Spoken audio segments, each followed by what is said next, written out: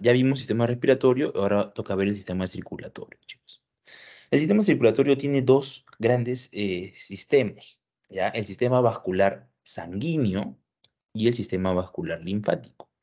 Ya, es la primera vez que veo que les ponen, pues, como tal, el sistema vascular linfático, y esto es todo, todo lo que le ponen en sus diapositivas. Ya, o sea, supongo que es todo lo que han hablado. Es súper puntual, por eso vamos a empezar con esto, que es al toque. ¿Ya, chicos? Entonces, vamos, vamos, vamos al hecho, ya vamos al hecho. Eh, antes de comenzar, ¿alguien tiene alguna pregunta, alguna consulta del sistema respiratorio? ¿Algo que quieran saber? No sé, todo claro, todo bien, sino para seguir. Ya. Ya bueno, chicos. Ya saben que cualquier cosa ustedes pueden prender su micro y yo les explico de nuevo, no sé, lo que ustedes deseen. Ya, chicos. Entonces vamos rápidamente con el sistema vascular linfático, ¿no? ¿Recuerdan que en la clase 5 les hablé de los órganos linfoides, ¿no? Que se conectan mediante los vasos linfáticos, ¿no? Que es como una especie de, de espejo del sistema vascular sanguíneo, ¿no? Como la sombra del sistema vascular sanguíneo. ¿Ya, chicos? En este caso, vamos a ver las funciones del sistema vascular linfático. ¿Ya, chicos? Eh, obviamente la circulación de la linfa. Yo espero que ustedes hayan notado que era la linfa, no sé si se acuerdan. La linfa, chicos, es el conjunto de líquido intersticial, líquido del intersticio, detritos celulares, ¿no? detritos, ¿verdad? Es el conjunto de células del sistema inmune, células inmunitarias, ¿no? Y es el conjunto de bacterias micro, y, demás microorganismos ¿no? que se encuentran en el intersticio. ¿Verdad, chicos? Todo esto forman lo que es la linfa. ¿Y por dónde circula? Por los vasos linfáticos. Ya chicos, acá está, ¿no? Conduce células inmunitarias y linfa hacia los ganglios, ¿no? Entonces yo tengo mi vaso linfático que llega al ganglio, ¿no? Vaso linfático eferente y sale los vasos linfáticos aferentes, ¿no? Eferente y aferente. Perdón, aferente y eferente. Uno que entra y otro que sale. ¿Ya chicos? Luego, tenemos a los, ya les dije que es la linfa, acá, ¿no? Elimina el exceso de líquido en el espacio intersticial, ¿no? Es una función que tiene, ¿no? Porque el líquido en el espacio intersticial forma parte de qué? De la linfa. Bien. Y chicos, esto les pueden preguntar tranquilamente, ¿ya? Más que nada porque está relacionado con el sistema digestivo, ¿ya? Genera el, se participa en el transporte de los kilomicrones, ¿ya? Transporte de los kilomicrones. Es un conjunto de triglicéridos, ¿ya? Es un conjunto de triglicéridos. Entonces, como son ácidos grasos, ¿no? O sea, triglicéridos, se van a absorber a nivel del sistema digestivo. Por lo tanto, estos vasos linfáticos que se encuentran a nivel del sistema digestivo se conocen como vasos linfáticos quilíferos. ¿ya? Los vasos linfáticos quilíferos van a ser justamente los que van a transportar los kilomicrones, ¿no? Y estos vasos linfáticos quilíferos, ¿no? Así se les conoce, van a estar en dónde? En el intestino delgado. Intestino delgado, específicamente en las vellosidades intestinales. Ya chicos, les pueden preguntar acerca de eso. Ahora, ¿cuáles son los componentes, chicos? Tienen que entender que ustedes que el sistema vascular linfático ya nace, ya nace del tejido conectivo, ¿no? Nace del tejido conectivo, del intersticio, chicos, del intersticio. Recuerden que el tejido conectivo tiene abundante matriz extracelular, ¿verdad? Y esa matriz extracelular justamente se conoce como intersticio, ¿ya? Entonces, estos vasos linfáticos nacen del tejido conectivo, ¿ya? Empiezan con los capilares linfáticos, ¿no? Empiezan con capilares linfáticos, estos absorben justamente ese líquido, el linfa, ¿no? Del intersticio, luego se vuelven vasos linfáticos precolectores, luego se vuelven vasos linfáticos colectores, luego vasos linfáticos terminales y finalmente vasos linfáticos aferentes, o sea que llegan al ganglio linfático, ¿no? Vasos linfáticos aferentes y finalmente los vasos linfáticos eferentes, ¿no? Eferentes. Ya chicos, y como último punto, ¿no? Eh, estos, ustedes saben, ¿no? Los vasos linfáticos eferentes van a drenar al sistema sanguíneo, ¿no? Al sistema, al sistema vascular sanguíneo, ¿ya? ¿Cómo lo hacen? Lo hacen a través, ¿ya? Lo hacen a través de el conducto torácico, conducto torácico, y el conducto linfático derecho. ¿ya? conducto torácico y conducto linfático derecho. ¿Ya, chicos? Entonces, eso es lo principal del sistema vascular linfático. ¿Ya, chicos? Hasta ahí. ¿Alguien tiene alguna pregunta? ¿Todo bien? ¿Todo claro? ¿Me van siguiendo?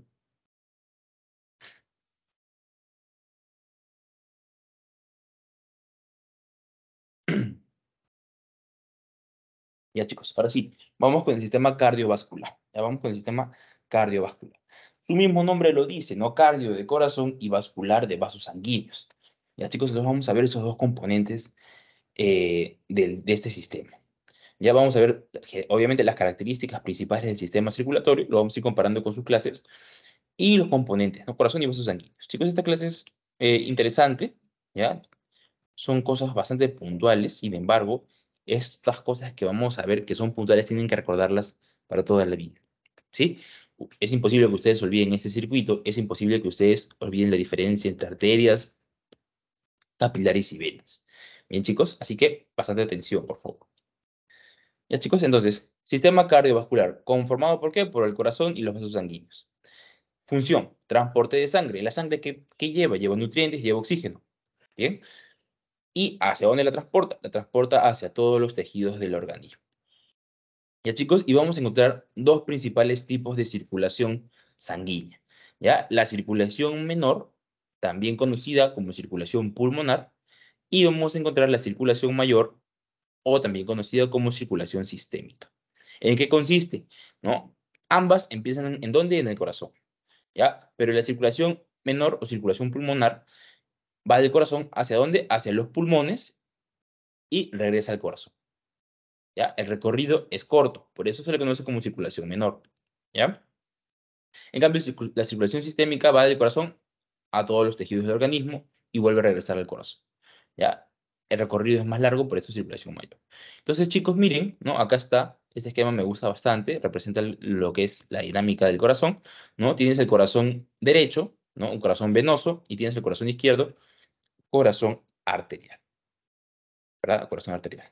Todo lo que sale del corazón, esto ya lo saben para anatomía, son arterias. Todo lo que sale del corazón son arterias y todo lo que llega al corazón son venas. Ya, son venas. Por lo general, todas las venas tienen sangre poco oxigenada, por lo general. Y, por lo general, todas las arterias tienen, tienen sangre rica en oxígeno. ¿Ya? Solo hay dos excepciones, ahí se las voy a mencionar. ¿Ya, chicos? Entonces, eh, ustedes saben que estos dos recorridos, estas dos circulaciones ocurren de manera simultánea, ¿no? Ocurren de manera simultánea, ¿verdad? Pero a mí me gusta empezar hablando del ventrículo derecho. El ventrículo derecho, ¿no? Emite una arteria que va a viajar hacia los pulmones, ¿no? Iniciando, pues, el recorrido de la circulación menor o circulación pulmonar, ¿no? Sale entonces del ventrículo derecho una arteria, una arteria conocida como arteria pulmonar.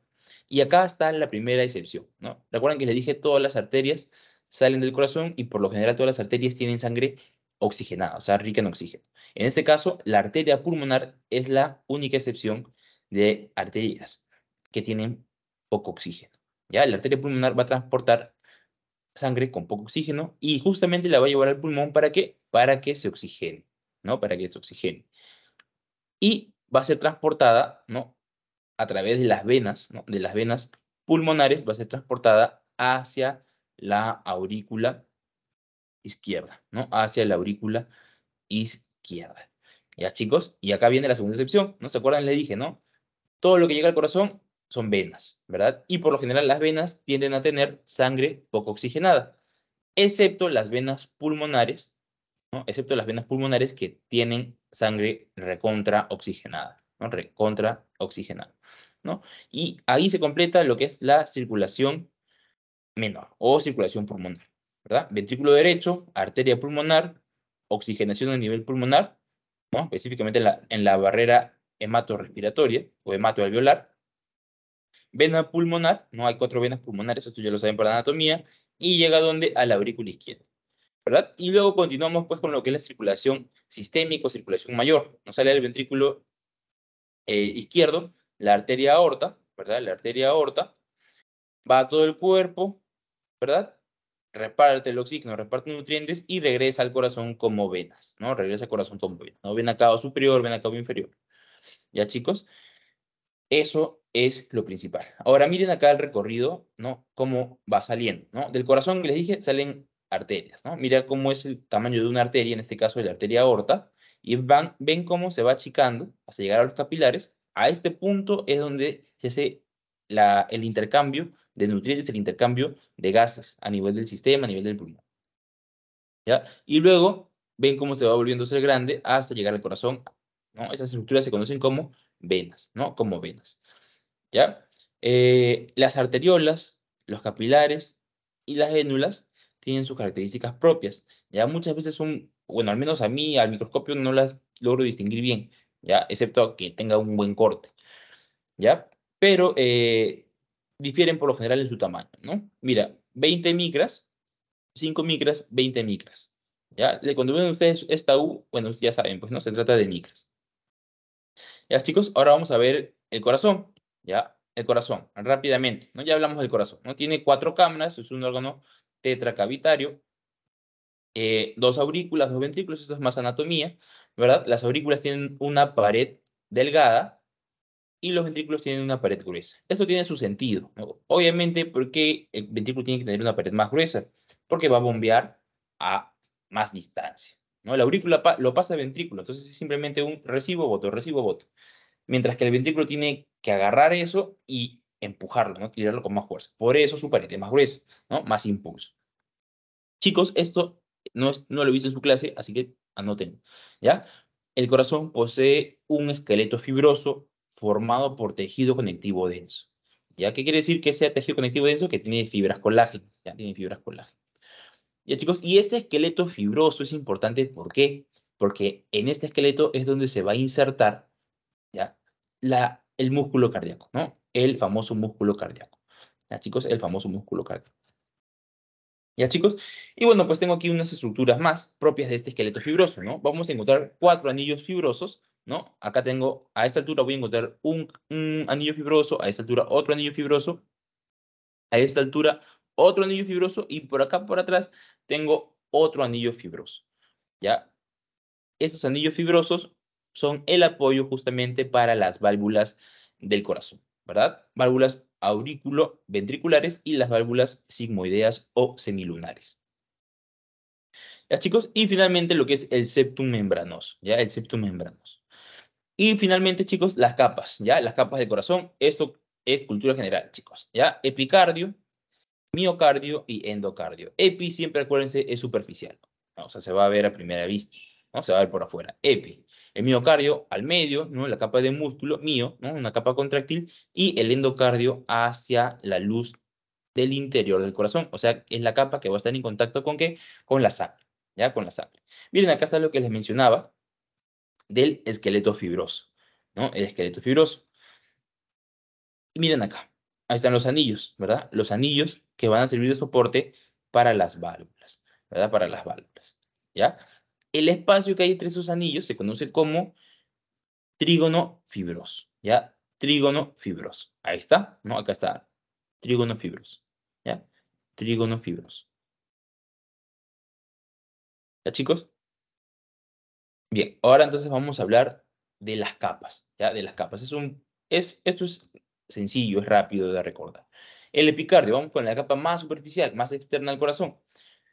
Va a ser un, un eh, va a ser una capa recubierta de células planas, ¿ya? Se conocen como células mesotelio, mesoteliales que están relacionadas con el pericardio, están en contacto con el pericardio. Bien, vamos a encontrar adipocitos uniloculares, ya en este tejido conectivo laxo. Y vamos a encontrar, a este nivel del epicardio, vamos a encontrar arterias y venas coronarias, ya las arterias y venas coronarias. Ya, acá lo ven. Miren, acá está, ¿no? La capa superficial. Esta es la capa, este es el famoso pericardio. Este es el famoso pericardio. Perdón, epicardio, epicardio, epicardio. Ahí están, ven en blanquito, esas son, esas son las adipocitos uniloculares que están inmersas en el tejido conectivo laxo. ¿Ven? Acá veo una arteria coronaria, ¿ya? Acá vengo una vena coronaria. ¿Ya? Eh, Debajo, pues, tengo a lo que es el miocardio, ¿no? La capa muscular. Acá está, es el músculo cardíaco como tal, ¿no? Las fibras cardíacas. Acá vamos a encontrar que son fibras cilíndricas. Esto ya, ya lo vimos, creo, lo vimos, en la, lo vimos en la clase de músculo, de músculo cardíaco, ¿verdad? O sea, el sistema muscular. Perdón, tejido muscular. ¿Ya? Pero bueno, ahora vamos a recordarlo, ¿ya? Fibras cilíndricas cortas. Se ramifican eh, tienen de uno dos núcleos centrales. Estas son características eh, histológicas, ¿ya? Mira, se ramifican y tienen de uno a dos núcleos centrales. Y tienen, obviamente, estrías transversales, ¿verdad? Estrías transversales. ¿Ya? ¿Cómo se unen? Estas células se unen a través de los discos intercalares. A través de los discos intercalares. No se voy a olvidar esto nunca. Discos intercalares son las estructuras que unen a las células del miocardio. Entonces, mira, yo tengo así, ¿no?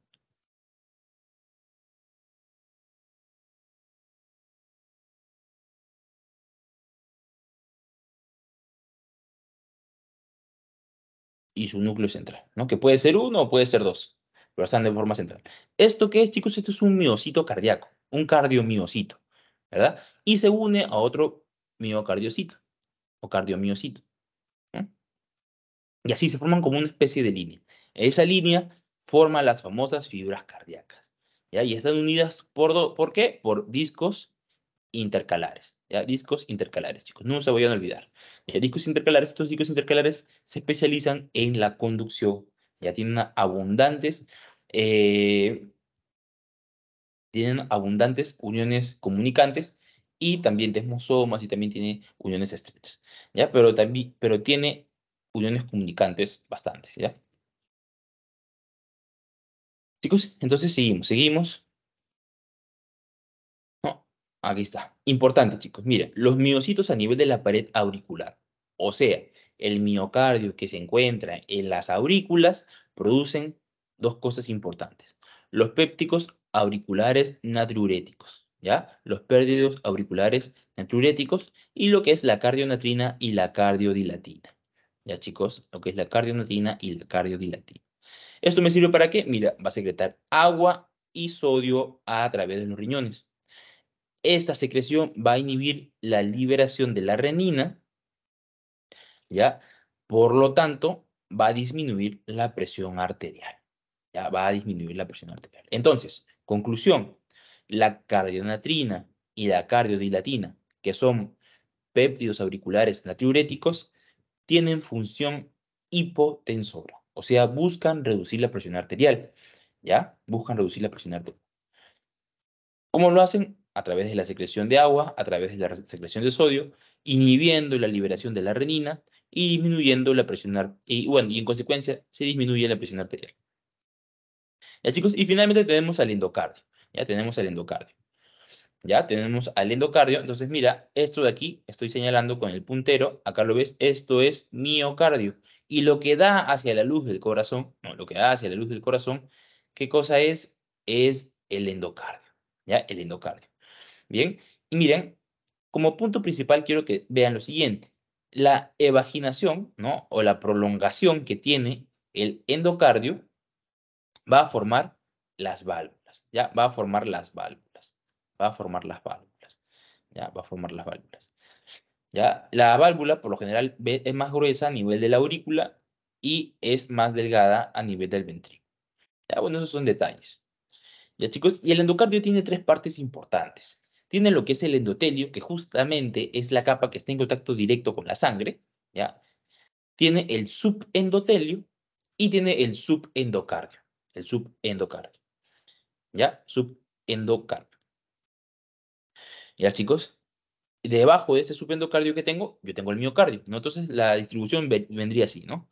Acá, no sé, a ver, zoom, zoom, zoom, zoom. Ahí vamos. Esta capa de acá, ¿qué sería? Sería el endotelio, ¿no? El endotelio, en contacto con la sangre. Debajo que tengo el subendotelio, ¿no? El subendotelio. Y debajo tengo el sub endocardio, ¿no? El subendocardio. Debajo del subendocardio que tengo, ahí está el miocardio, ¿no? El miocardio. ¿Ya? Ya, chicos, el endotelio que es, es epitelio plano simple simple plano o epitelio escamoso, ¿ya? Epitelio escamoso simple. ¿Ya, chicos? Es el que hacia la luz. El subendotelio es un tejido conectivo laxo que tiene fibras colágenas y tiene fibras musculares lisas, ¿ya? Y tiene fibras musculares lisas. Bien, chicos, y el subendocardio tiene eh, casi lo mismo que el subendotelio, ¿ya? Solo que acá, por este, a este nivel, discurren las fibras de Purkinje. ¿Ya? A este nivel discurren lo que se conoce como fibras de Purkinje. Y específicamente en el subendocardio del ventrículo, por si acaso. En el subendocardio del ventrículo discurre las fibras de Purkinje. ¿Ya?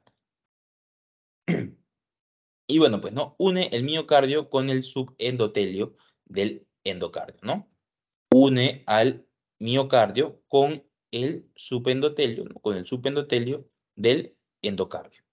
¿Ya? Sencillo de recordar. ¿Alguna pregunta, chicos? ¿Me están siguiendo? ¿Todo bien? ¿Todo claro?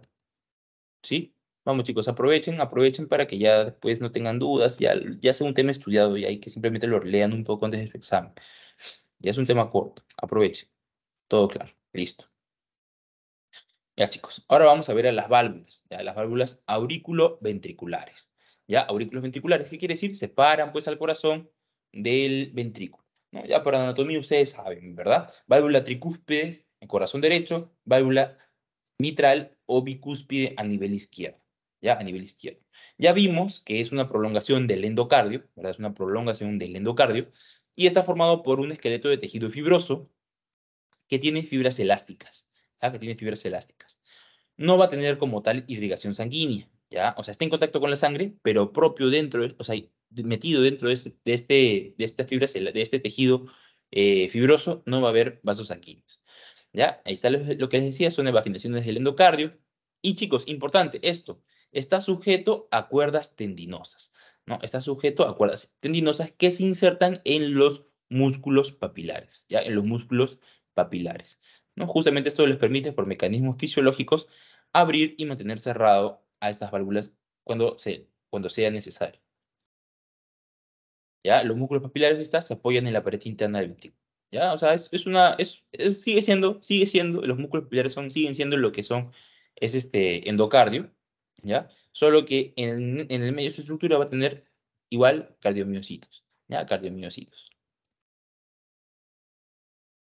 Ya, chicos, acá está, mira, la función de las cuerdas tendinosas. Se sujetan en superficies ventrales, ¿no? o sea, la válvula, la parte ventral de la válvula, y evita su reversión durante la eyección, ¿verdad? Evita su reversión durante la eyección. ¿No? ¿Qué pasa? Cuando la sangre va a ser expulsada por las arterias, el corazón hace fuerza. Y si no hubieran estas ligas que mantienen la tapa, lo jalan pues hacia adentro. Si no estuvieran estas, las válvulas se abrirían y la sangre retornaría. La sangre retornaría. Entonces, estas, estas cuerdas tendinosas evitan eso. ¿Ya? Igual, las válvulas auriculoventriculares están recubiertas por, están revestidas o recubiertas por endotelio y están ancladas a los anillos fibrosos, ya lo vimos. Ya chicos, y acá, ¿no? Netamente características histológicas, ¿verdad? Tienen una parte esponjosa que mira las aurículas y tienen una parte fibrosa que mira los ventrículos. ¿Cómo voy a recordar esto? Aquí está la válvula, está su pars esponjosa que da hacia la, hacia la aurícula y la pars fibrosa que da hacia el ventrículo. ¿Qué capas del corazón, perdón, qué cavidades del corazón generan más fuerza? Los ventrículos, ¿verdad? ¿Por qué? Porque botan buen volumen de sangre y lo hacen con fuerza. Entonces, es lógico ver o pensar que la pared, ¿no? que está en contacto con esa, con esa cavidad que emite bastante fuerza, sea más resistente no sea fibrosa.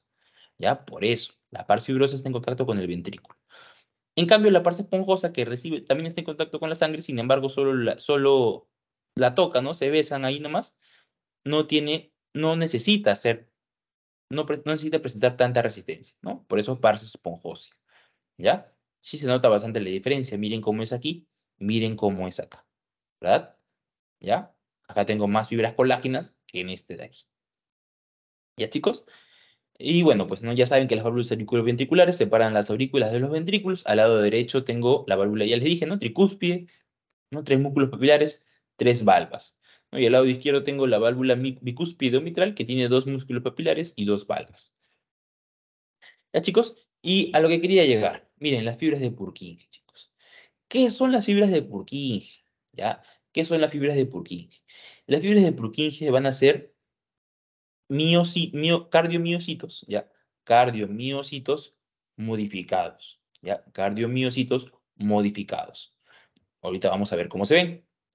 Primero, ¿dónde se ubican? En el subendocardio, ¿ya? Subendocardio, subendocardio, chicos. Está en contacto entre el miocardio y el subendotelio de la capa del endocardio del corazón.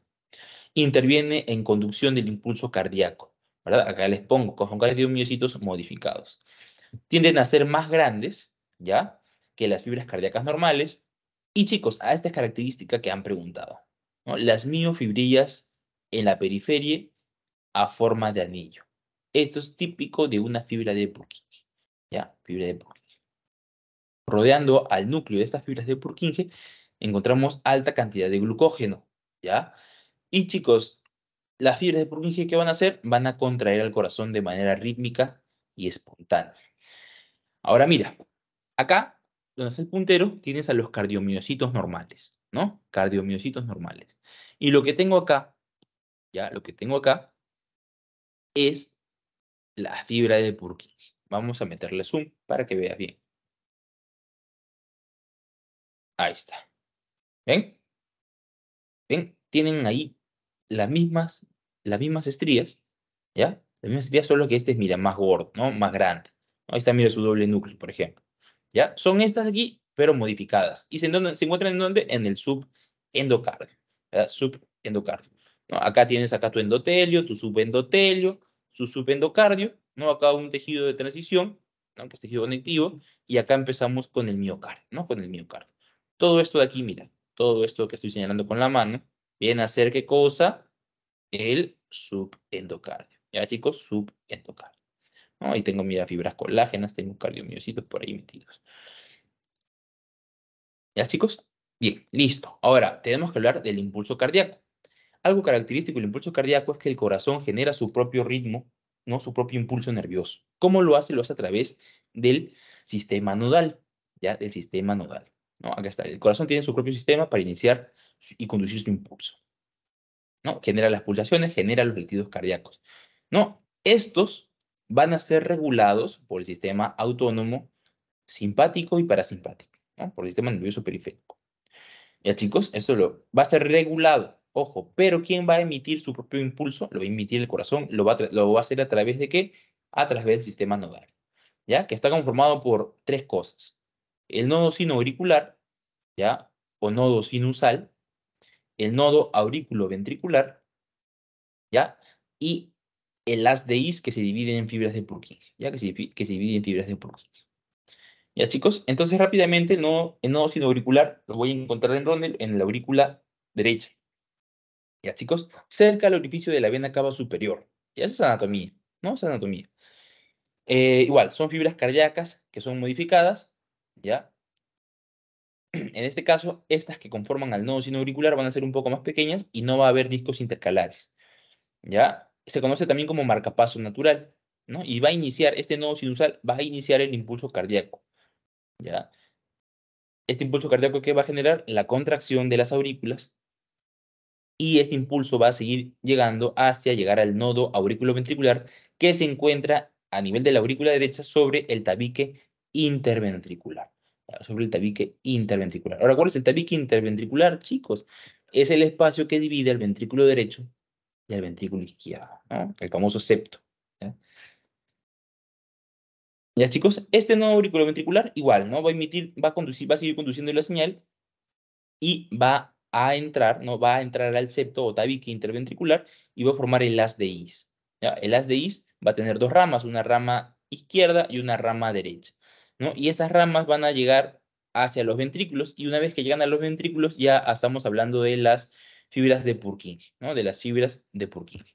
Ya chicos, entonces miren cómo se ve, ahí está, nodo sino auricular o nodo sinusal, tienes las ramas, ¿no? Que es el haz de Is, llegan, perdón, este, sus ramas tienen un nombre, chicos, es anatomía, no recuerdo bien ahorita su nombre, tienen un nombre que llegan hasta el nodo auriculoventricular, ¿no? Y de aquí es donde se forma el haz de is, ¿no? Este pequeño pedazo es el haz de is y ya, tiene su rama derecha y tiene su rama izquierda.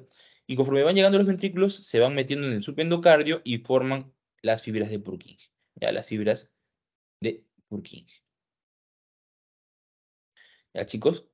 Y bueno, estas son patologías que he visto que no les, este, no les han puesto ustedes en su clase. Sin embargo, es importante que ustedes sepan esto. Ya voy a tener arteriosclerosis, voy a tener aneurisma y voy a tener varices. ¿ya? Y voy a tener varices. Eh, lo que más me interesa, la arteriosclerosis. El problema de la arteriosclerosis, bueno, esto lo vamos a ver mejor después, ¿ya? Porque eso está relacionado con los vasos sanguíneos, ¿ya? Está relacionado con los vasos sanguíneos. Así que hasta ahí vamos a parar vamos a ver sus diapositivas de su clase. ¿Alguien tiene alguna consulta, chicos? ¿Todo bien? ¿Todo claro? ¿Chicos? ¿Algo que no quedó claro? ¿Algo que quieran que repita?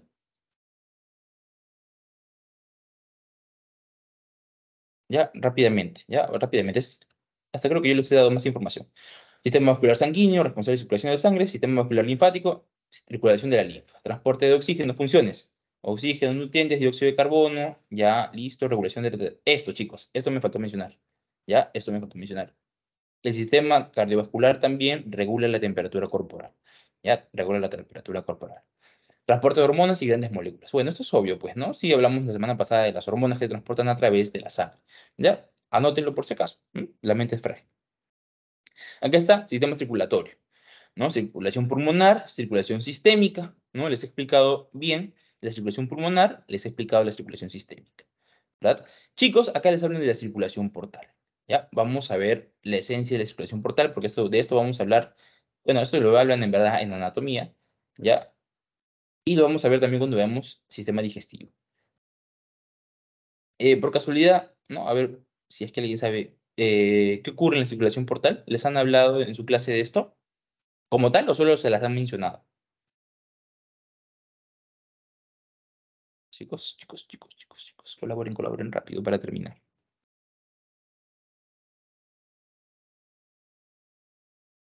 Bueno. Ya chicos, acá está lo que les decía, ¿no? Sistema circulatorio, igual, ¿no? Lo, que, lo mismo que les he explicado es exactamente lo mismo, se los he explicado a detalle, es una imagen diferente nada más. Corazón, lado derecho, sangre baja en oxígeno, sangre, eh, corazón izquierdo, sangre rica en oxígeno, bombear sangre, los aurículas, comunicación, ya, lo mismo. Acá está otra vez las capas del corazón. Endocardio, ya vimos, ¿no? Endocardio, tienes el endotelio, tienes el subendotelio, tienes el subendocardio. ¿no? Por el subendocardio que discurre las fibras de Purkinje. Luego tienes el miocardio, ¿verdad? Que son fibras eh, cardíacas conformadas por cardiomiocitos unidos mediante discos intercalares, ¿verdad? Y luego tenemos al epicardio, que es tejido conectivo, ¿no? Que tiene arterias y venas coronarias. Chicos, las capas de corazón, ahí está la túnica, la túnica íntima o el endocardio, ¿no? Tiene su endotelio, ya tiene su endotelio. A ver, acá hay información nueva, chicos. A ver, acá. Anoten, anoten, anoten. Ya, capas de corazón, dice, eh, túnica, o capa íntima, ¿no? El endocardio. Ahora tiene el endotelio, que son placas multifuncionales, ya, o sea, son células, ya, son células eh, planas. En el corazón, por lo general, solo van a tapizar, ya chicos. En el corazón, por lo general, las células endoteliales van a tapizar. ¿Dónde ocurren más funciones del endotelio? A nivel de los vasos sanguíneos. Eso es importante, ya, eso es importante. ¿Ya? Y obviamente, puede que también tengan esas funciones a nivel del corazón, pero por lo general se dedican a tapizar a nivel del corazón, ¿ya? Tienes el subendotelio, tejido conjuntivo, conjuntivo, perdón, conectivo, en el subendocardio las fibras de Purkinje, ¿no? Tal cual, tienes fibras colágenas, fibras elásticas y el sistema de conducción, pues, ¿no? Que son las fibras de Purkinje. ¿Ya, chicos? Luego te hablan acá de una lámina elástica interna, ¿ya? Que se encuentra entre el subendocardio y este, el, miocardio, ¿ya? La mina elástica interna. Y el tejido, una capa de tejido fibrocolágeno, ¿no? ¿no? Que tiene células miointimales. Chicos, estas células miointimales, ya, células miointimales, eh, albergan, ¿qué cosa? Células fagocíticas, ¿ya? Células fagocíticas. Los famosos histiocitos. Chicos, los histiocitos son células fagocíticas que presentan antígenos. ¿Cuáles son? Los macrófagos y las células dendríticas, ¿ya? Eh, macrófagos y células dendríticas. Entonces, acuérdense, se encuentran en dónde? En la capa de tejido fibrocolágeno, ¿ya? Tienen también músculo liso, ¿verdad? ¿Se acuerdan que les mencioné? El músculo liso. Y van a sintetizar, ¿ya? Eh, colágeno y elastina, ¿ya? Colágeno y elastina, y están en contacto con los fibroblastos, ¿ya? Están en contacto con los fibroblastos. ¿Se acuerdan que es un fibroblasto, verdad, chicos? Es la célula del tejido conectivo por excelencia que, por lo general, se dedica a formar matriz extracelular, ¿verdad? Fibras colágenas, fibras reticulares, fibras elásticas. Ya, chicos, y miren acá, ¿no? Primera patología que les relaciona. Las células miointimales, ¿no? Las células miointimales están relacionadas con la ateroesclerosis, ¿ya? Ateroesclerosis. ¿Ya, chicos? Ateroesclerosis. ¿Ya? Por eso yo les digo, esto está en relación con los vasos sanguíneos. No sé por qué su docente lo ha puesto a nivel del endocardio. ¿Ya? Pero bueno, hay que guiarse por esto. Bueno, otra vez miren las capas del corazón. ¿Ya? Las capas del corazón. Fibras de Purkinje, miocardio, eso ya lo vimos. Ya vamos con la capa media. Mira, te dicen el miocardio, igual miocardio, contráctiles. Los cardiocitos mioendocrinos, ¿se acuerdan? Les mencioné, ¿verdad? Específicamente los que se encuentran donde? A nivel de la aurícula. ¿no? Secretan qué cosa? El factor natriurético, ¿verdad? Factor natriurético. Y también tienes a los cardiomiocitos nodales, ¿no? Cardiomiocitos nodales que se encuentran en dónde? En el sistema nodal, ¿verdad? En el sistema nodal. Contracción rítmica del corazón lo encontramos en, los, en el nodo sinoauricular y en el nodo aurículo-ventricular. ¿Ya, chicos? Estos son, estos son los que, ¿te acuerdas que te mencioné que son modificados, ¿no? Las fibras de Purkinje son cardiomiocitos modificados, ¿ya? Estos también son cardiomiocitos modificados, solo que están ¿no? en, el nódulo, en, el, en el sistema nodal, ¿no? Nodo, auriculo, nodo sinusal y nodo aurículo ventricular. ¿no? Y son diferentes porque son un poquito más pequeños. Ya chicos, y bueno, finalmente tienes acá la adventicia, ¿no? El epicardio, ¿no? La capa visceral. La capa visceral que tiene qué cosa? Tejido adiposo, ¿verdad? Tiene arterias y venas coronarias. Ya está en contacto con el eh, mesotelio, ¿no? Del, pericardio pericardio. ¿Ya, chicos? Entonces, acuérdense. Entonces, yo tengo, mira, tengo acá una capa, ¿no? Una capa y tengo acá el corazón, ¿no? Tengo acá el corazón. Esta capa, chicos, es la capa que envuelve, es el mesotelio que envuelve, ya, es el mesotelio que envuelve al corazón, ¿verdad? ¿Se acuerdan? hay dos mesotelios, tres mesotelios. El mesotelio que envuelve el sistema digestivo, el mesotelio que envuelve el al, los pulmones, que se conoce como pleura, y el mesotelio que envuelve el corazón, que se conoce como pericardio. Ya, chicos, pericardio. Ahora yo tengo el pericardio parietal, ¿verdad? El pericardio parietal y lo que es el pericardio visceral, ¿no? Acá te dicen que la, la capa, el epicardio está en contacto, ¿no? Con el espacio que hay entre el pericardio y el corazón. ¿Ya? De que dice acá que es de 15 a 50 mililitros. Ya chicos, ahí está el miocardio, las fibras cardíacas. Acuérdense chicos, ya, son fibras que tienen prolongaciones. Ya, son fibras que tienen prolongaciones y tienen de 1 a 2 núcleos centrales. Ya tienen de 1 a 2 núcleos centrales y están unidas ¿por qué? Por discos intercalares, ¿verdad? Por discos intercalares Acuérdense que es un tipo de músculo estriado, ¿no? Miren, ahí ustedes, están viendo ahí las estrías, miren las estrías, ¿no? Si están bien, están viendo las estrías, ¿ya? Bueno, acá está lo que les mencionaba, ¿no? El sistema de conducción no sino auricular, ¿no? Formado por qué? Por los cardiomiocitos nodales, ¿no? Cardiomiocitos nodales. No, ahí está. Un nodo sinusal o nodo sinoauricular Tienes tu nodo aurículo-ventricular, tienes tu is, rama derecha, rama izquierda, fibras de Purkinje, Fibras de Purkinje. Ya chicos, y miren, ahora sí, ya, acá específicamente te van a empezar a hablar de lo que son los vasos sanguíneos. Entonces, los vasos sanguíneos van a ser eh, tres, ¿no? Los, las arterias, los capilares y las venas. Sale del corazón, llega a donde tiene que llegar y regresa al corazón como vena. Ya, chicos, y el endotelio va a tener funciones. Ya, acuérdense que el endotelio, ¿qué es? Es epitelio plano o escamoso. Simple. ¿Ya? Simple. Son células planas que tienen mecasocitoplasma y tienen un núcleo prominente.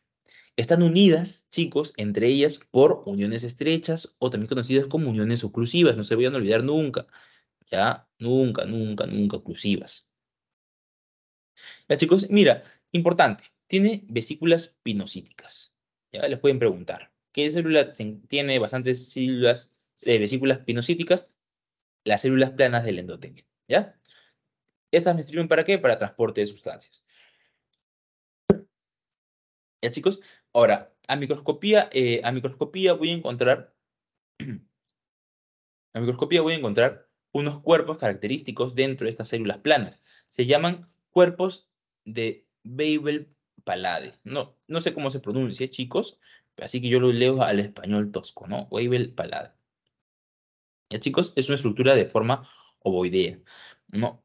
Estos son gránulos, pues, ¿no? Son gránulos que, que albergan al factor de von Willebrand. ¿Ya? Factor de von. Chicos. ¿Ya? Al factor de von Willebrand. ¿Ya? También va a tener P-selectinas y moduladores vasculares. ¿Ya? Moduladores vasculares. ¿Qué más, chicos? El endotelio, ¿qué hace? Mira, actúa también a forma de sensor, ¿no? Va a detectar los cambios a nivel de la presión arterial, va a detectar la tensión de oxígeno y el flujo sanguíneo, ¿ya? Y, chicos, también va a tener quimio y mecanorreceptores, ¿ya? No sé si ustedes han escuchado, no sé si ustedes sabrán, pero actualmente al endotelio, ¿no? Se le conoce como el órgano más grande, ¿no? el órgano más... Es un órgano, chicos. Tiene tantas funciones que ya es considerado un órgano. ¿Ya? No está oficialmente todavía en los libros, pero estoy seguro que mm, de aquí un par de años o de repente, pues, no sé, pero va a salir como tal, ¿no? Ya se tiene que ir actualizando. Ya no es la piel, sino el endotelio, porque tiene más funciones microscópicas, ¿no? Obviamente, y micromoleculares más que nada. ¿Ya, chicos? Tienen químicos Estos van a secretar sustancias que tienen que ver con el tono del músculo liso vascular. ¿no? El tono, chicos, es si se contrae, ¿no? Si se contrae o si se dilata, ¿no? O si se dilata, ¿ya? Del músculo liso vascular. Ahorita vamos a ver eso. Ya, chicos, entonces ah, vamos a aprovechar esto en el, endotelio. He visto que le han hecho bastante énfasis en sus clases, así que vamos a ver las funciones. Ya, chicos, eh, va a almacenar lo que es la angiopoietina de tipo 2, ¿ya? Angiopoietina de tipo 2, ¿ya? Produce, esto es importante, la prostaciclina. ¿Ya, chicos? La prostaciclina tiene características vasodilatadoras, ¿ya? Vasodilatadoras. ¿ya? Y también evitan, a su vez, la formación de coágulos, ¿ya? Los coágulos son buenos, sí, porque ayudan a cerrar una herida, pero cuando se forman de más, esto puede generar daños, ¿ya? ¿Qué más, chicos? Mira, modula la actividad del músculo liso, ¿ya? Secreta óxido nítrico, el óxido nítrico y lo que es la endotelina de tipo 1. Entonces, el óxido nítrico, ¿qué va a hacer? Eso es un vasodilatador, ¿no? Vasodilatador. Y la endotelina de tipo 1 es un vasoconstrictor, ¿ya? Vasoconstrictor, ¿ya? Vasoconstrictor. ¿Ya, chicos? Igual, la prostaciclina que es también vasodilatador, ¿ya? Vasodilatador. Y chicos, también están relacionados con lo que es la coagulación. Ahí está, con la coagulación sanguínea. ¿Ya? ¿Qué más, chicos? Mira, también están relacionadas con el tránsito de leucocitos y antígenos, ¿no? Y antígenos. Tránsito de leucocitos y antígenos. Ahí está, chicos. Miren, vamos a analizar esta imagen a detalle. Vamos a hacerle zoom. Miren, está en el libro de texto de Kirsenbaum, ¿no? La quinta, cuarta edición, creo que es. Quinta edición, la quinta edición. Ya chicos, miren, entonces acá tienes la luz vascular, o sea, la parte del, vaso sanguíneo, que es, la sangre, obviamente. ¿Verdad? Tienes, a ver, vamos con el número uno, ¿no? Tienes aquí la angiotensina 2, ¿no? Que está almacenada en vesículas, ¿se acuerdan? Y es en, relación con la unión estrecha, ¿ya? Está en relación con la unión estrecha, o sea, forma moléculas, asumo, que eh, entran en contacto con la unión estrecha o forman la unión estrecha, fortalecen la unión entre células endoteliales. vamos con el número 2, prostaciclina, acuérdate, ¿qué hace? Es vasodilatador, ¿verdad? Es vasodilatador. Ya, vamos con el número 3, ¿dónde está el número 3? Acá está, el papel vasoactivo, ¿no? La endotelina de tipo 1, vasoconstrictor, ¿no? ¿Cómo constriñe? Ahí estimula el músculo liso para que se contraiga. Si se contrae, entonces se constriñe el vaso, ¿no? El, el diámetro se hace más pequeño. Yo quiero relajarlo, entonces, ¿qué hago? Óxido nítrico, ¿no? Un vasodilatador, ¿no? Relaja este músculo, entonces el diámetro del vaso sanguíneo aumenta. ¿Ya? Vamos con el número 4, tienes el factor tisular, ¿relacionado con qué? Relacionado con la coagulación, ¿ya? Con la coagulación. ¿Ya, chicos? Y vamos con el número 5, ¿no? Permite el paso, ¿no? Permite el paso de células del sistema inmune, ¿verdad? Permite el paso de células del sistema inmune, ¿no? El famoso proceso de homing o proceso de diapedesis, ¿verdad? Proceso de diapedesis. ¿no? Ahí te acuerdas, ¿no? La S-lectina, te acuerdas la integrina, ¿verdad? Favorece, se fijan y va rodando y finalmente entra a, al vaso sanguíneo, ¿ya? Al vaso sanguíneo. Chicos, ay, perdón. Vamos a terminar acá. Funciones del endotelio, ¿no? También tiene receptores para el LDL. ¿Se acuerdan que saben qué es el LDL? Bueno, les digo. lipoproteína, ¿ya? De baja densidad. ¿Ya? Lipoproteína de baja densidad. ¿Ya? Lipoproteína de baja densidad. ¿Ya? En inglés, ¿no? Low density lipoprotein, ¿no? Low density lipoprotein. Ya chicos, tiene receptores también obviamente para la insulina y para la histamina que es eh, una sustancia anafiláctica, ¿verdad?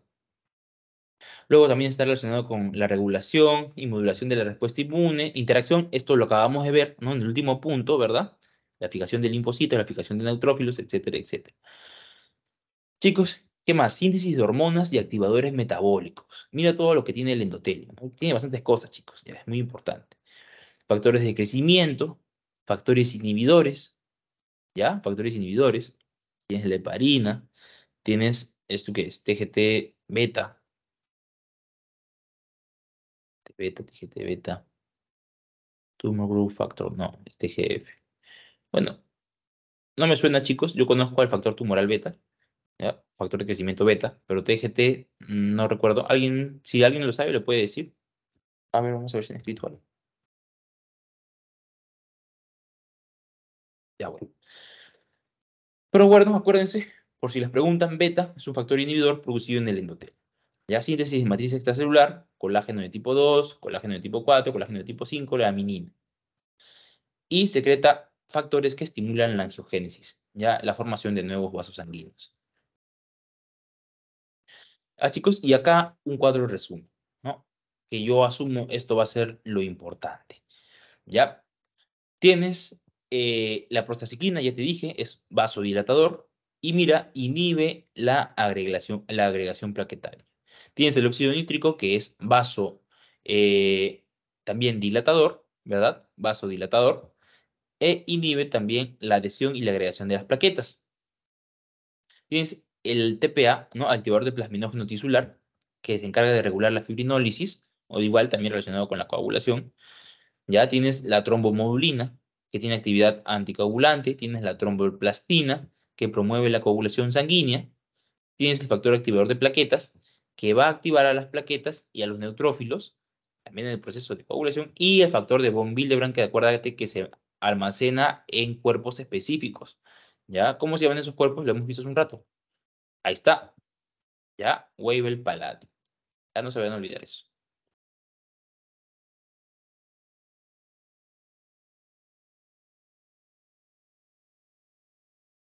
Ya, chicos. Y por acá, pues, faltó ponerle la endotelina, ¿no? La endotelina. ¿No? ¿Qué es qué cosa? Vasoconstrictor. ¿Ya? Vasoconstrictor. Si les preguntan algo, chicos, va a venir de este cuadro. ¿Qué cosa tienen que recordar sí o sí? Prostaciclina, óxido nítrico, endotelina y el factor de von. Esto es fijo, ¿ya? Eso es fijo. Si es malo tu profesor, te puede poner esta, ¿ya? Te puede poner esta. Esta trombomulina, tromboplastina, factor activador de plaquetas, eso es fisiología. ¿Ya? Si quieres lo estudias, si tienes tiempo lo estudias y lo aprendes. Bacán por ti. Pero lo que te he señalado es lo, que, lo más probable. ¿Ya? Y chicos, bueno, acá está, esto ya lo vimos, ¿no? Esto ya lo vimos. Ya, esto ya lo vimos. Eh, a ver, de acá que te pueden preguntar. Mira, te están hablando de la presión media. Presión media. ¿Dónde hay mayor presión media? En las arterias, ¿no? En las arterias de gran calibre, ven cómo va disminuyendo conforme se va haciendo menor el diámetro hasta llegar a los capilares y conforme va subiendo de nuevo el corazón, la presión es menor. ¿Ya? Mientras, a pesar de que tenga más calibre, igual la presión sigue siendo menor, porque recuérdate que las venas por lo general van de subida. Van de subida, entonces la presión va a ser menor. ¿Ya, chicos?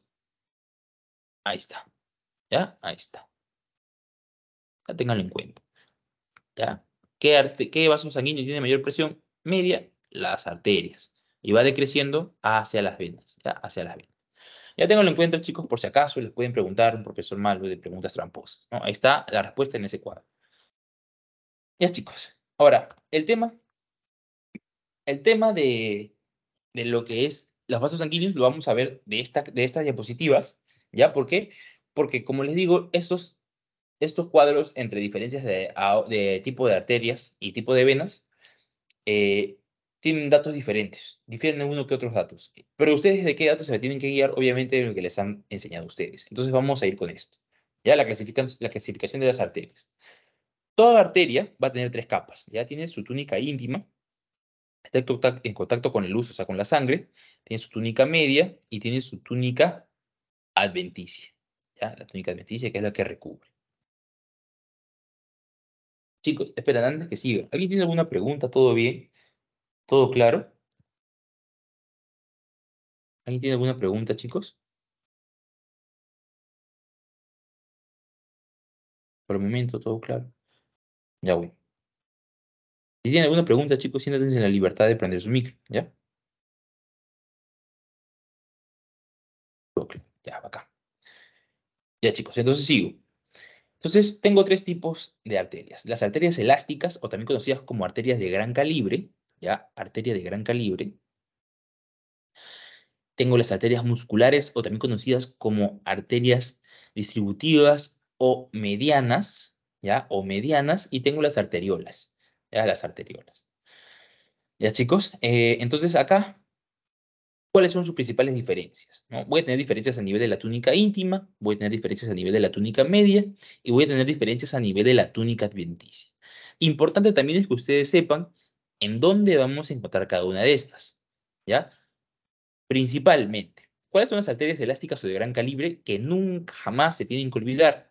Acá están, mira, la arteria aorta, la arteria brachiocefálica, la arteria carótida común, la subclavia. ¿ya? Y la subclavia. Y bueno, ya a nivel más abajo, ¿no? A nivel más abajo, a nivel de los miembros inferiores, bueno, no de los miembros inferiores, ¿no? A nivel abdominal, ya tirando para abajo, a las arterias ilíacas comunes. ¿Ya, chicos? Entonces está sencillo. Toda rama, toda rama que esté en contacto con la arteria aorta, que provenga de la arteria aorta directamente, va a ser una arteria elástica o una arteria de gran calibre. ¿Ya? Por si acaso. Características, chicos, características. Acá, su túnica media, esa es la más importante, la túnica media de las arterias elásticas va a tener abundantes fibras elásticas, ¿ya? Abundantes fibras elásticas. Déjame subrayarlo.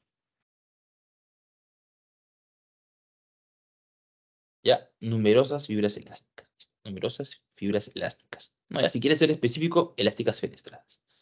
¿Ya? Ahí está. Su mismo nombre lo dice, ¿no? Arterias elásticas. ¿Ya, chicos? A nivel de la íntima tienes tu endotelio, tienes tu subendotelio y tienes una lámina elástica interna. ¿Ya? Eh, igual, y en la adventicia, ¿qué voy a encontrar? En la adventicia ya les dije que es una especie de tejido conectivo. Entonces voy a encontrar vasa vasorum, que son vasos sanguíneos que irrigan a la arteria. Tengo nervio vasorum, que son nervios que eh, inervan perdón, a la arteria. Y tengo también vasos linfáticos que van a recoger eh, restos celulares, ya restos celulares, lo que venga, ¿no? Lo que venga de, del intersticio. ¿Ya, chicos? La arteria muscular, arteria media, mediana. O arteria distributiva, ahí está, primera diferencia, el calibre. Acá te ponen 4 milímetros. La túnica íntima es idéntica, ¿ya? Túnica íntima es idéntica. La diferencia está acá, chicos. Tiene más cantidad de fibras musculares, ¿ya? Más cantidad de fibras musculares, chicos. Acuérdate. La, eh, fibras elásticas tiene, sí, pero menos, menos, ¿ya? Y la túnica media también tiene fibras musculares, pero menos. Entonces, en las elásticas predomina ¿qué cosa? Las fibras elásticas. Y en la muscular que predomina, las fibras musculares lisas. Ya, chicos, mira, 40 capas de fibras musculares lisas. ¿Ya? ¿Dónde las encuentro? También es importante, chicos. En, las, en los músculos de las, de, de las extremidades por lo general. Mira, ¿no? A nivel del radio, del antebrazo, a nivel de la, de la, de la pierna, a nivel de la axila, a nivel del vaso también vamos a encontrar a nivel de las costillas. ¿Ya, chicos? Por lo general están obviamente inervando músculos, ¿ya? Inervando músculos. Eh, la adventicia es exactamente igual, solo que ya no voy a encontrar vasos linfáticos, ¿ya? Solo vasa vasorum y nervio vasorum. ¿Ya, chicos? Y luego tenemos a las arteriolas, ¿ya? Las arteriolas. Mira, su diámetro ya viene a ser de micras, ¿no? De 20 a 130 micras, ¿no? En la túnica íntima encuentro las mismas estructuras, ¿ya? Pero su capa media o mediana va a ser de 1 a 3 capas nomás, ¿ya? De 1 a 3 capas. Va a tener fibras elásticas y fibras musculares repartidas en 1 a 3 capas, ¿ya? Y la adventicia es muy poco, ¿no? La adventicia es muy poco. Ya, chicos, entonces les he resaltado lo principal, las cosas que les pueden preguntar de ese cuadro. ¿Ya? Entonces acá, otra vez, miren, hacen, hacen hincapié en, en sus características, ¿no? Elástica, capas elásticas fenestradas, vasos de conducción, obviamente van a soportar alta presión y por lo que soportan alta presión tienen que ser flexibles. Por eso tienen bastantes fibras elásticas. ¿Dónde están esas fibras elásticas? A nivel de la túnica media. Ahí está, mira, túnica media, fibras elásticas. ¿no? Fibras elásticas en mayor cantidad. También tiene fibras musculares lisas, obviamente, para la vasoconstricción, para la vasodilatación. Tiene, pero ¿qué predominan? Las fibras elásticas. Túnica íntima, endotelio, subendotelio. ¿No? En la adventicia, acuérdate, fibras colágenas, los vasavasorum y los nervivasorum y los linfáticos, ¿no? Y los linfáticos. Chicos, vamos con... Ahí está, mira cómo se ve, chicos. Eso te puede venir en tu examen tranquilamente, ¿no? Señala, ¿qué se, qué se señala en esa imagen? Fibras elásticas. Fibras elásticas. ¿Ya, chicos? Eso es un clásico. Yo veo esta imagen donde sea, de cualquier forma, de cualquier color, sé que es una arteria de gran calibre, una arteria elástica. ¿Ya? Arteria de mediano calibre, arteria muscular o arteria de distribución está diámetro de 3 milímetros. Ah, diámetro de 3 milímetros. Ya son vasos de distribución. Bueno, tiene su capa endotelial, eh, su túnica íntima, es igual a la de la arteria de gran calibre, ¿no? Endotelio, subendotelio, lámina elástica interna. Ahí está lo que les decía. En la media hay menos fibras elásticas, pero hay, pero donde que lo que predomina son las fibras de músculos lisos, ¿no? 40 capas de músculo liso. ¿Ya? Y chicos, se unen a través de la lámina elástica interna con la adventicia, ¿ya? De la lámina elástica interna. ¿Ya? Ahí está. Mira cómo se ve, chicos. ¿Ya? Esta sí es un poco más sutil, ¿ya? No, no difícil que te la pongan, ¿no? Sí tienes que tener un poco más de experiencia. Y mira, ¿no? Ahí está tu músculo liso, ¿no? Tu músculo liso, ahí está. Tu músculo liso. Tu músculo liso. Tu túnica adventicia, túnica media y tu túnica íntima. ¿Ya? Túnica íntima. Ya, chicos, miren, bastante, se nota bastante, ¿no? Se nota bastante la diferencia, ¿no? Mira, un montón de capas. Y por ahí, por ahí una que otra fibra elástica. A ver, vamos a ver si logro identificar alguna. Mm, por acá aparece una. Parece. En fin, bueno, el tema no es eso. El tema es que hay fibras elásticas por ahí. Y chicos, las arteriolas. ¿ya? Igual, ¿no? Vasos de resistencia son importantes para la presión arterial, ¿ya? Están relacionadas con la presión arterial. Y chicos, tiene también micro, microvasculatura que va a estar relacionada con la vasodilatación y la vasoconstricción. Ya chicos, tiene, ¿se acuerdan que tiene una capa, no? Tiene una capa de una a tres capas, ¿no? En la túnica media. Eso está encargada, está en general, vamos a encontrar músculo liso. También tiene fibras elásticas, pero ya tiene tan pocas que ni se menciona. Ya predomina el músculo liso. ¿no? Capas concéntricas. Ya, chicos, capas concéntricas de músculo liso. Túnica adventicia, escasa. Mira cómo se ve una arteriola, chicos. Mira cómo se ve una arteriola. Esto estoy seguro que te va a venir en tu práctica, así que presta atención. Ok, creo que ya llevaron. Bueno, no importa. Presta atención. Para su vida, chicos. Ahí está el núcleo de tu célula, de tu endotelio. Mira, estos son músculos lisos. ¿no? Este es músculo liso. Y esta es la luz, pues, ¿no? De la, de la arteriola. Ya, chicos. Ahora de los capilares. ¿Ya? De los capilares. Esta imagen está bien, bien tela. Así que te voy a mostrar la de clase.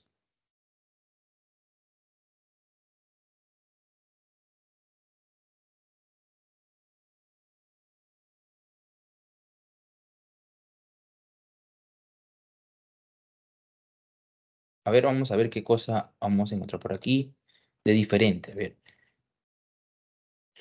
Acá también yo les hablé de las células endoteliales, solo que lo hablé en relación con los capilares, ¿no? Porque los capilares netamente son células este, endoteliales, ¿no? Células endoteliales, vale la redundancia, que tienen a su alrededor pericitos que ayudan en la contracción, ¿ya? A ver, epitelio plano simple, prostaciclina, acuérdate, vasodilatador, inhibe la agregación de plaquetas, participa en la conversión de angiotensina 1 angiotensina 2, factor de von Willebrand, ¿no? Que se encuentran en los cuerpos, los nombres, ¿se acuerdan? Sí les, les mencioné. Óxido nítrico, neurotransmisor, vasodilatador, endotelina, que es un vasoconstrictor, ¿ya? Esto de las funciones de las células endoteliales lo hemos visto hace un rato y mejor, ¿no? Con más cositas. Esas cositas que le hemos visto, puede preguntarle así que métenle una leída, métenle sus anotas. ¿Ya, chicos? Y bueno, pues ahora vamos a hablar de los capilares, ¿ya? De los capilares. ¿No? Va a ser la unión entre arterias y venas, tienen paredes delgadas y el diámetro es de 5 a 10 micras. Se encuentra recubierta por células endoteliales fijadas a la membrana basal, ¿no? Y de ahí te hablo de las células endoteliales, que ya las vimos. Y hay tres tipos de capilares, ¿no? Hay tres tipos de capilares. Ya vamos, ya vamos acabando, chicos.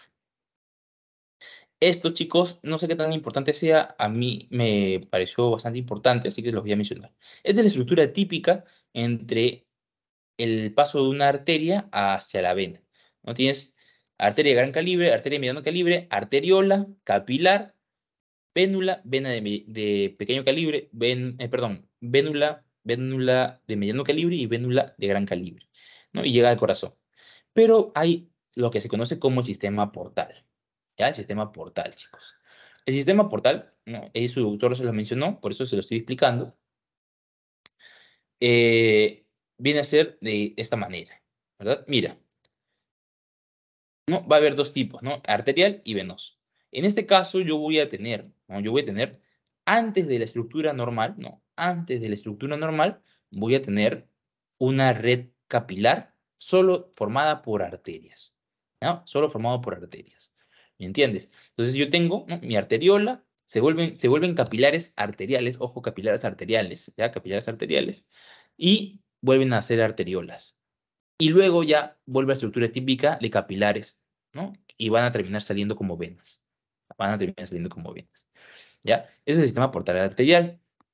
Y ahora tienes el sistema portal venoso que es idéntico, pero a nivel, ¿no? Pero a nivel de las venas, ¿no? Esto, esto lo encuentro en dónde? Esto lo encuentro, chicos, en el riñón. Ya, el sistema portal arterial lo encuentro en el riñón. Y el sistema portal venoso lo encuentro a nivel del hígado, ¿ya? A nivel del hígado.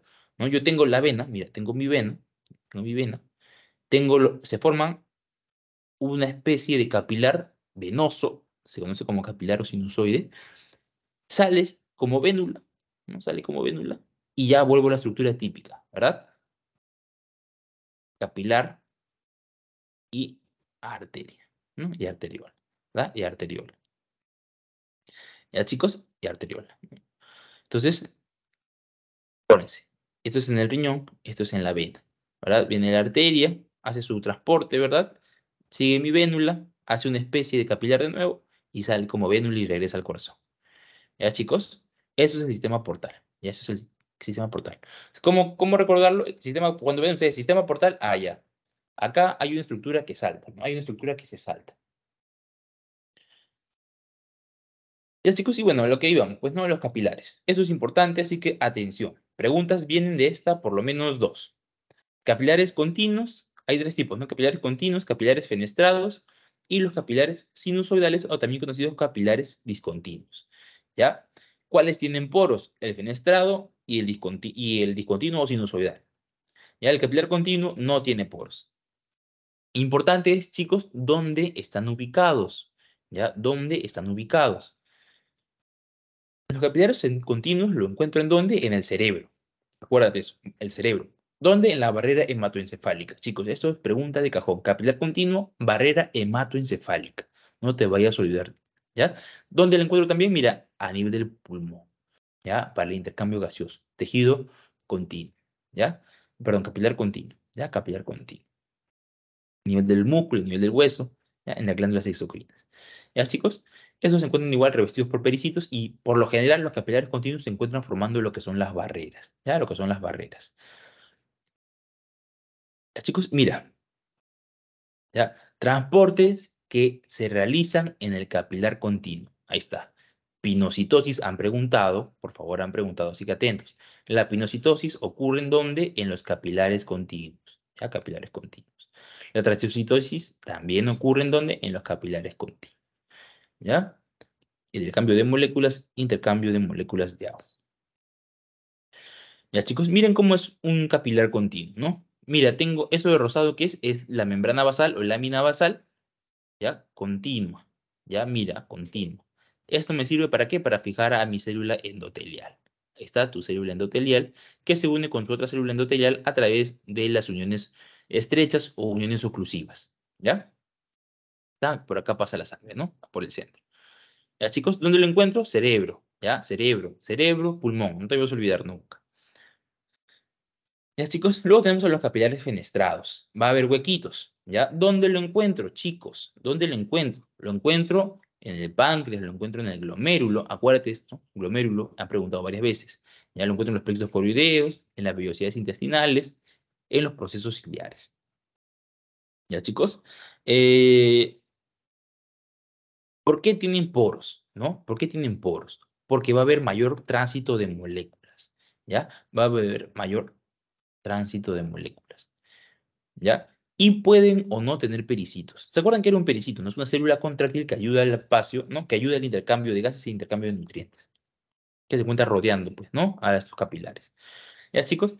Y mira, estos capilares fenestrados tienen algo conocido como diafragma, chicos. ¿Ya? Diafragma. El diafragma va a ser, mira, acá está, es una especie de unión estrecha, pero es una especie de unión estrecha debilitada, un poco más laxa, ya un poco más, eh, no, no, tan, no tan rígida.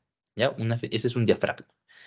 ¿ya? Ese es un diafragma. Entonces, los capilares fenestrados tienen poros, ¿ya? Pero tienen diafragma, ¿ya? Diafragma.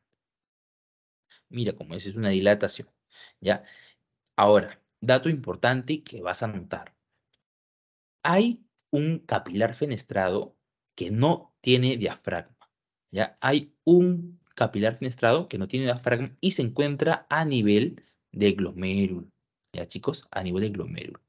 Entonces, te ponen una pregunta. Capilar fenestrado que se encuentra en el glomérulo. ¿Tiene diafragma? ¿Verdadero o falso? Tú dices, capilar fenestrado. Los capilares fenestrados tienen diafragmas en marcas verdaderas. Pero la respuesta es falsa, porque el capilar fenestrado a nivel del glomérulo no tiene diafragma. A nivel del glomérulo no tiene diafragma. ¿Ya? No tiene diafragma. ¿Ya, chicos? Todos los demás sí tienen diafragma. Todos los demás capilares fenestrados tienen diafragma, excepto a nivel del glomérulo. Eso es importante. ¿Ya? Eso es importante. Y, chicos, pero finalmente tienes al capilar sinusoide o capilar discontinuo. ¿Ya? Eh, el hígado, el vaso, en el hígado y el vaso, ¿ya? Principal, hígado y vaso. Su luz es irregular, vamos a encontrar macrófagos, este sí no tiene pericitos, ¿ya? Y está presente en alto tránsito de sustancias, ¿ya? Por eso acuérdate del vaso siempre. ¿No? Mira cómo es, mira acá su membrana basal, ¿no? La línea rosada, mira cómo es, es discontinua, a diferencia del continuo y del fenestrado, acá sí hay espacios gruesos, ¿no? Acá ya no voy a encontrar ni uniones oclusivas, no voy a encontrar nada, ¿Ya? A ver, chicos, por favor, ¿quién me responde a esta pregunta? Capilares sanguíneos son los vasos más pequeños. ¿Qué estructura mencionada existe? Capilares fenestrados que carecen de diafragma. Vamos, chicos, para seguir. Vamos, vamos, vamos. ¿Quién se anima? Vamos, chicos.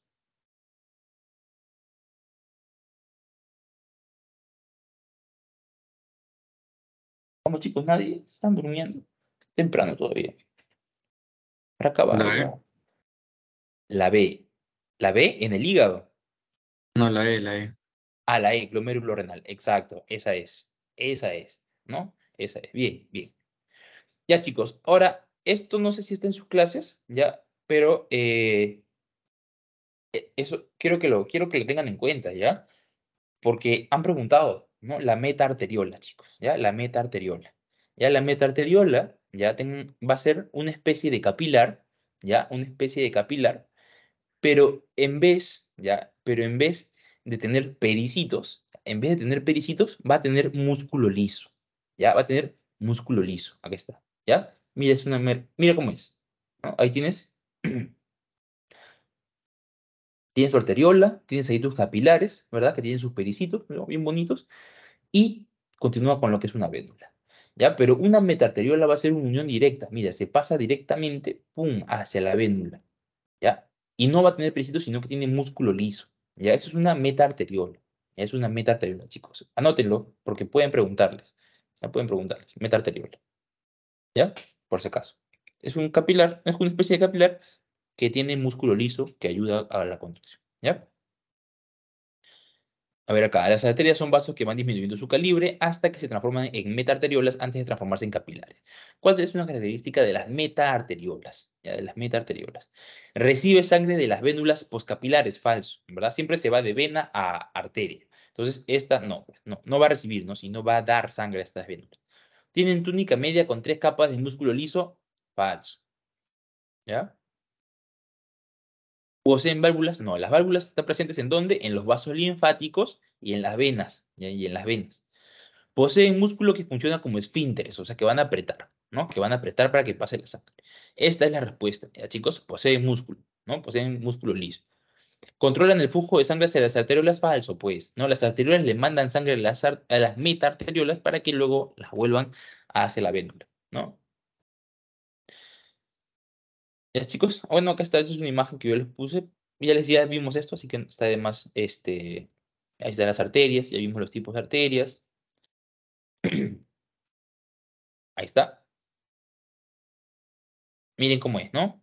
Arteria, su capilar y sus venas, ¿no? Sus venas. Ya les mostré cómo se ve una arteriola. Y vamos a terminar con las venas. Ya, para esto, chicos, vamos a su, a su clase, que también deben tener ahí su cuadrito de, de venas. Los capilares sanguíneos, a ver. Ahí está, ¿no?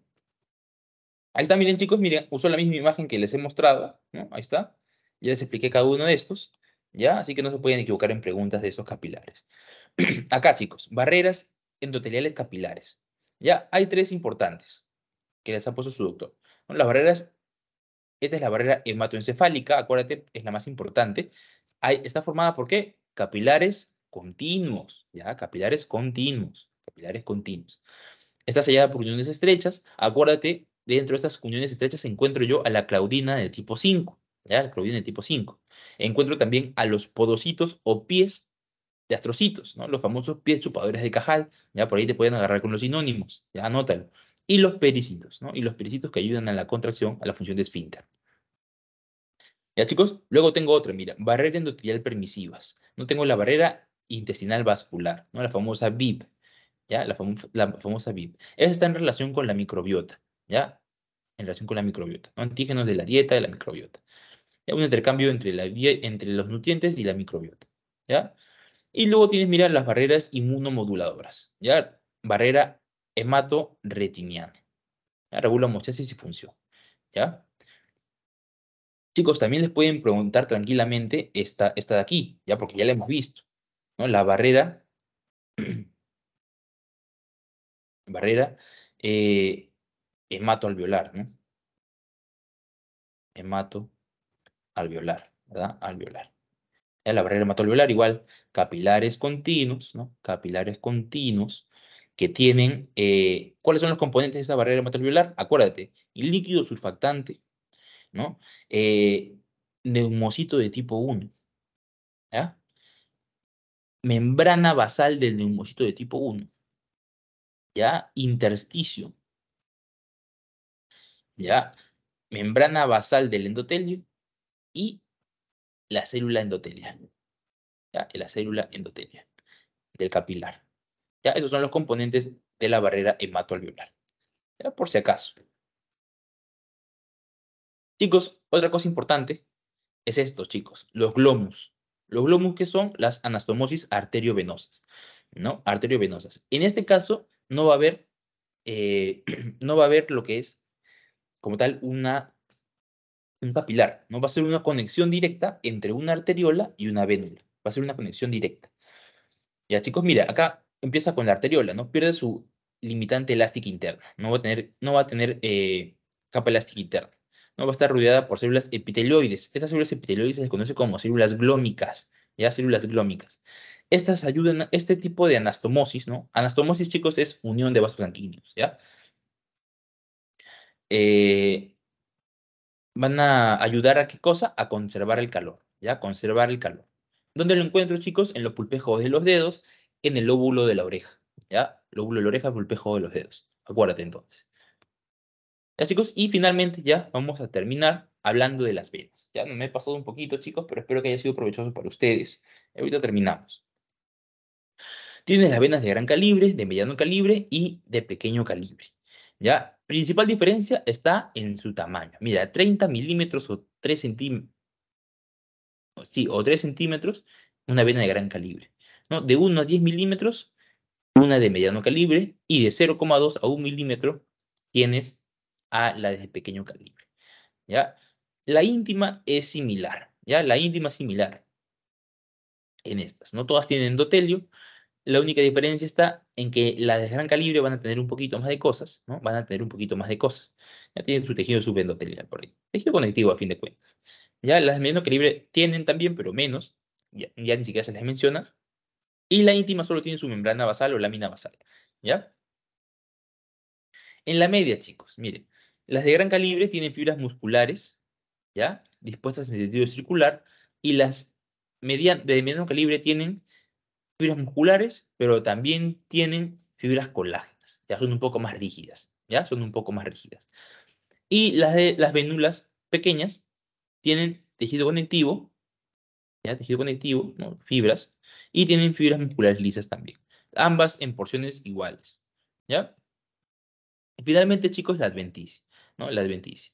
La adventicia eh, va a tener igual, ¿no? Vasa vasorum, ¿ya? Y la nervi vasorum. ¿ya? La nerviosa. Ahora, importante es cuáles son las venas de gran calibre, chicos. Igual son las venas que están llegando al corazón, ¿no? Y tienes la vena cava, ¿no? Superior, inferior, tienes las venas pulmonares, ¿no? Que desembocan, que van del pulmón al corazón izquierdo, tienes la vena porta y las venas renales, ¿ya? Las venas renales. Ya, chicos, en las venas de mediano calibre tienes todas las venas que están, que hacen la función contraria de las arterias eh, de mediano calibre, ¿no? Tienes a la vena radial, la vena, eh, la vena cubital, la vena poplitea, etcétera, etcétera, ¿ya? Y finalmente, chicos, la adventicia de las vénulas y, venas de pequeño calibre son las fibras colágenas. Ya, chicos, acá quiero que noten algo importante. Miren, se los voy a anotar. Ya tienes tu arteria y tienes tu vena. ¿Ya? Tienen, ambas te dan cuenta, tienen túnica íntima tienen túnica media y tienen túnica adventicia. Túnica adventicia. Cada una tiene sus diferencias si es de gran calibre, mediano calibre y pequeño calibre. Pero diferencias a grosso modo de ambas, tienes que, por lo general, en las arterias, la túnica de mediano calibre, perdón, la túnica media de las arterias, no importa si es de gran calibre, mediano calibre o pequeño calibre, tiende a ser más grande, ¿ya? tiende a ser más gruesa. ¿ya? Mientras que en las venas, independientemente si es de, qué calibre sea, la túnica adventicia es la que es más grande, ¿no? La más gruesa, pero más gruesa, más grande. ¿Ya? Ténganlo en cuenta. ¿Ya? Entonces, en las arterias, la túnica media siempre va a ser más gruesa. Y en la vena, la túnica eh, adventicia es la que va a ser más gruesa. ¿Ya? Ténganlo en cuenta. Miren cómo se ve una vénula. ¿Ya? Miren cómo se ven las vénulas.